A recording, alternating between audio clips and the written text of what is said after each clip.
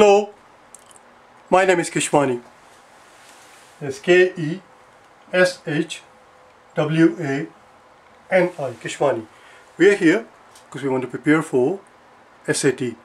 We have been solving SAT math problems out of this book here, the SAT Official Study Guide 2020. If you do not own this book already, purchase one immediately. You're going to need it. Today we are on page number 606. Please turn to it. Page 606. If at, if at the end of the video you find this helpful and you decide that you would like to work with me, you can always get hold of me by sending me an email at keshwaniprep at icloud.com. Let's take a look at number first. First problem, number, the very first problem on page number 606 is number 20. Number 20 tells us something about the heating cost. You can read the problem yourself, a, which is why I always tell you that you must have the book in front of you. Read the problem yourself and you will find that the heating cost, whatever the cost is, the regular cost is $4,334 per year. And they want to install some sort of a efficient energy system. Uh, homeowner plans to spend $25,000 to a geoth geothermal energy system and if they do that they have, they, have, they, they have concluded, they, they have figures that if they do that their cost per year for heating will drop from $4,300 to $2,712. The initial investment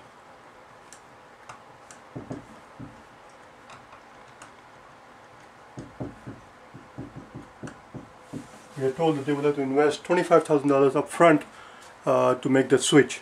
The question simply is how many years will it take before they see any return on their investment? The number of years it takes, which means the, the total savings that they have, total savings they're going to have is the regular amount that they would have spent, $4,334, minus the $2,712. This is the savings they're going to have per year times the number of years, which we're, we're going to represent with t for the time period. And as long as this amount, this is the total savings, this is their total savings. And as long as the total savings is more than this guy here, 25k, they're in business. The question is, how many years does it take before this happens? And luckily we don't actually have to solve for it, we just have to identify the correct inequality and that, that is the correct inequality. And that happens to be answer choice B. Make sure that you do not pick A because the way I wrote it, it may look like the answer choice is A, but in the A, the inequality sign is reversed. Because they put $20,000, $20, they put $25,000 here, so it's going to be $25,000 has to be less than this guy right here, 4334 minus 2712 times t and that is answer twice B. Just pay attention, that's all it is. It's just pay attention that as long as the initial cost is less than what they save, this is what they save eventually, as long as the initial cost is less than what they save, they're in business. And the question is how long does it take before that happens? And for that you solve for D. Number 21. That is what is known as the break-even point. They're trying to figure out the break-even point, the, the, number of years it takes before they break even with the cost. Number 21. We are told that the line of best fit, best fit is this.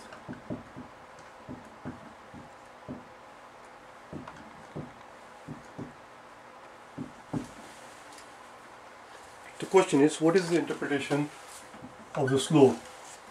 What is the interpretation of the slope in the context of the problem? And again, I'm going to leave that up to you to do that, to figure out what is going on because there's a lot of reading there. And if you read all of this thing, you'll find that what the slope tells us, what the slope tells us is, slope tells us, slope indicates the average, average increase in the amount of plastic produced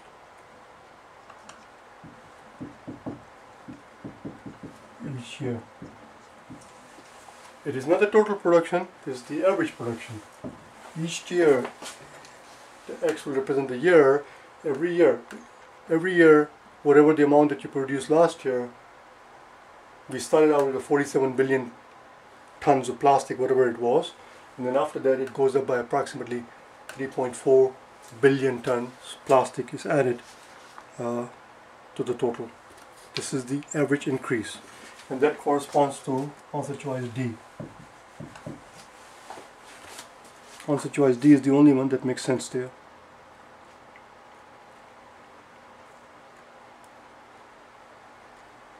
That was number 21. Let's look at 22.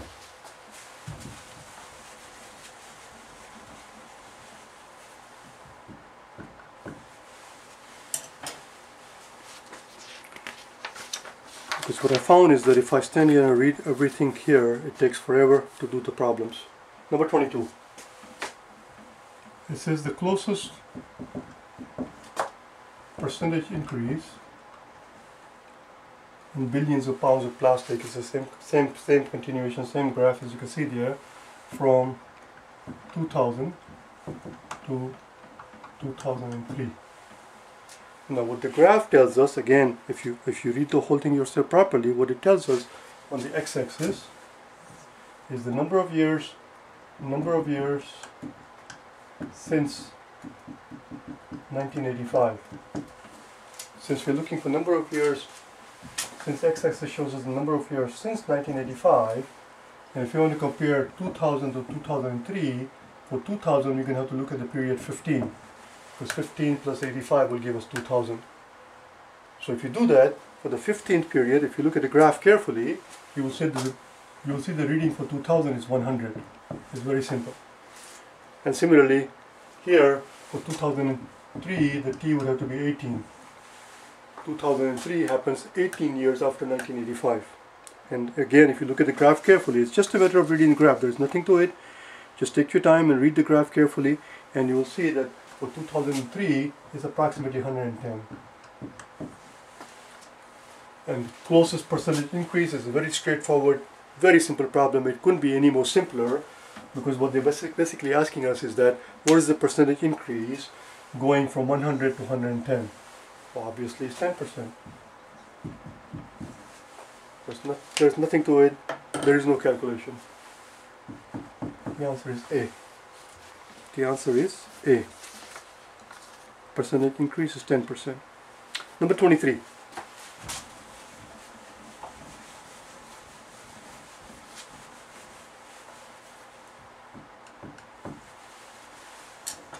And 23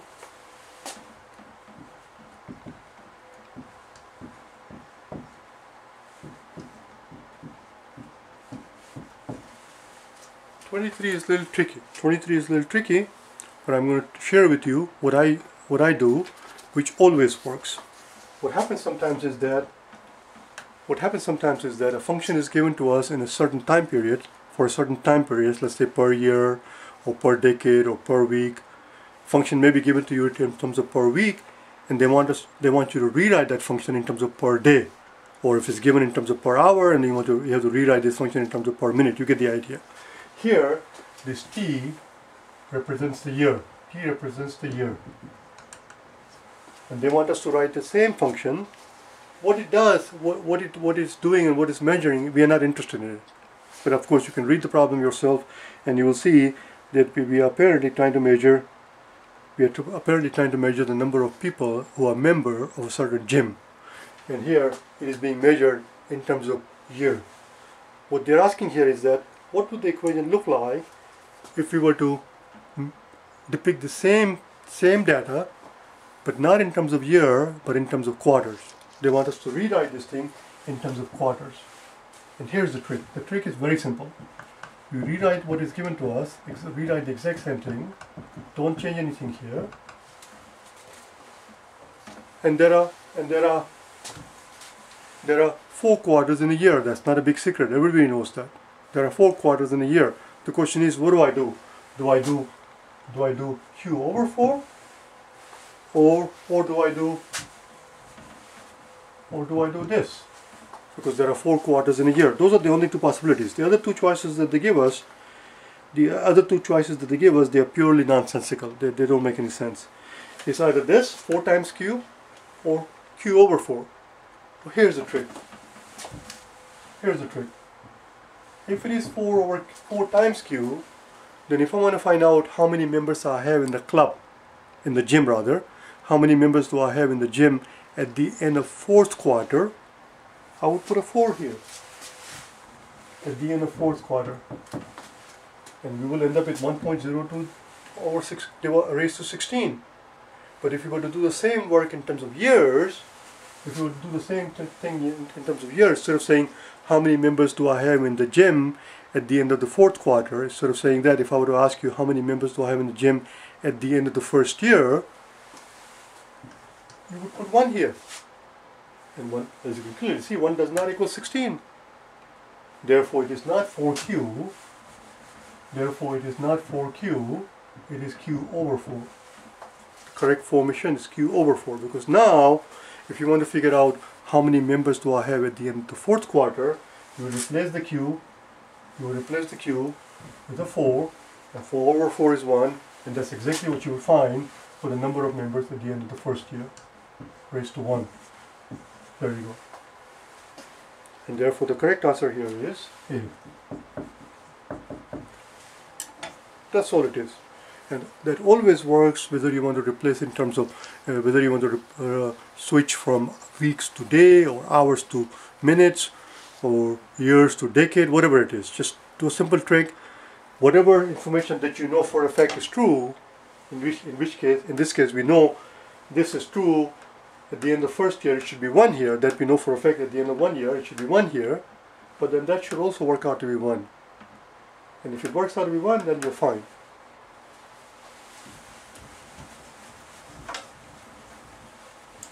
Number 24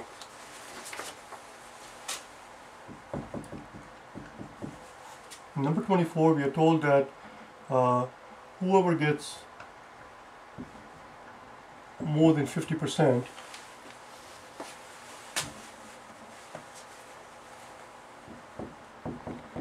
gets more than 50% wins.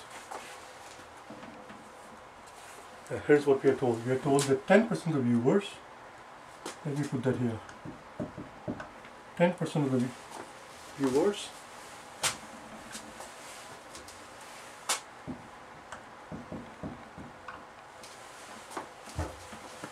I write?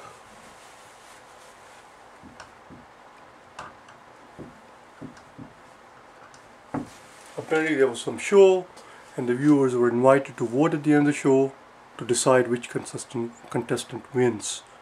And if 100 people watched the TV show, 90 people did not bother to uh, call in to vote, only 10% did. And of those 10% who voted, we are told that 30% voted by social media and 70% by text. They were given two choices. They can either send a text message or they can go on one of the social media websites and vote over there. And that was the split 30-70. Let's carry on. We were told the people who voted by social media, people who voted by social media, of those people, of those people, 70% voted for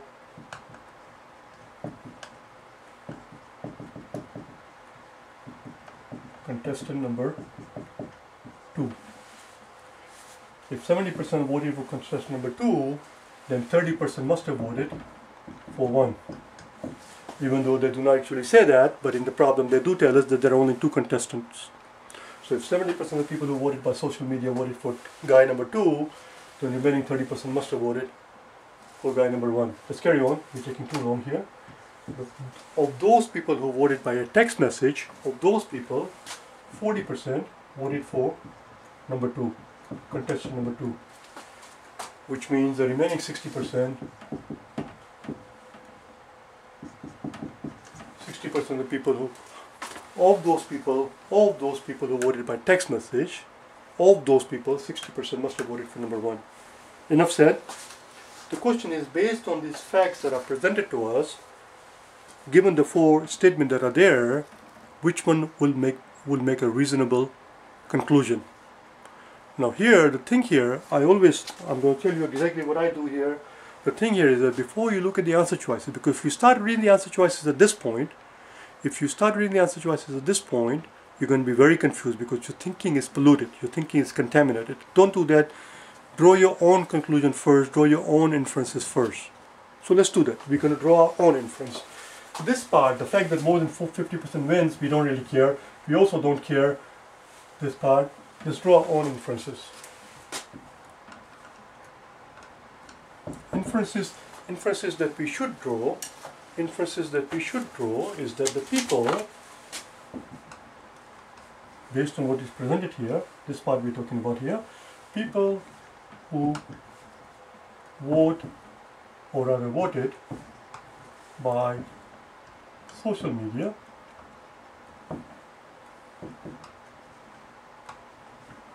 preferred guy number two. There you go. That is not, nobody's going to dispute with that because that's what we are told here. We are told here that all the people who voted by social media, all of those people, only 30% voted by social media, but among those people who voted by social media, vast majority of them preferred guy number two.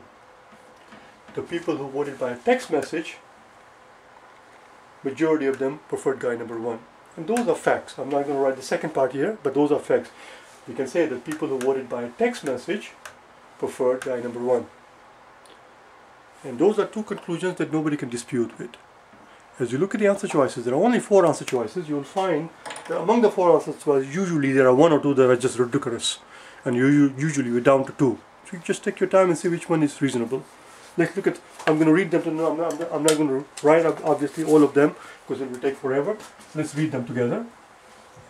Answer choice A says that 2 would have won if everybody voted. Because you know, only 10% voted.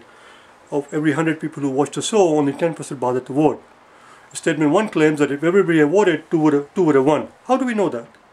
That's just bullcrap. We don't know that. Second one says that the, those who voted by social media were younger audience. There is nowhere in the whole story any mention of age. Age does not play any role here. There, there is, we, can't say it. age doesn't come into it. They, they make no mention of it. It plays no role. Answer choice C says that 2 would have won, 2 would have won if everybody had voted by social media. Because remember, in 2, 70% of the people who voted by social media voted for number 2. So what this says is that if everybody had voted by social media, 2 would have won. That's nonsensical. That's pure nonsense. Just because you're told to vote by social media and you're told that you're not allowed to vote by text message, that's not going to induce you to say all of a sudden, oh, well, in that case, I prefer guy number two. I was going to prefer guy number one if I had sent text message, but since you're not allowing me a text message, I prefer guy number two. That doesn't happen. People's preferences do not change just because you're told them to vote by a certain way. C is pure nonsense. C is absolute nonsense. Answer choice D is exactly what we put here. This is exactly what answer choice D says. Answer choice D says, I'm going to read it to verbatim. It says here, the viewer voting by social media were more likely to prefer guy number two. That's all. That's exactly what it here. People who voted by social media were more likely to prefer guy number two. People who voted by text were more likely to prefer guy number one. The answer is D. We'll stop right here. We'll meet again tomorrow. We'll pick up from where we left off. In the meantime, if you want to get hold of me, you can reach me, as I said before, by sending me an email at keshwaniprep at icloud.com. Alright? Bye now.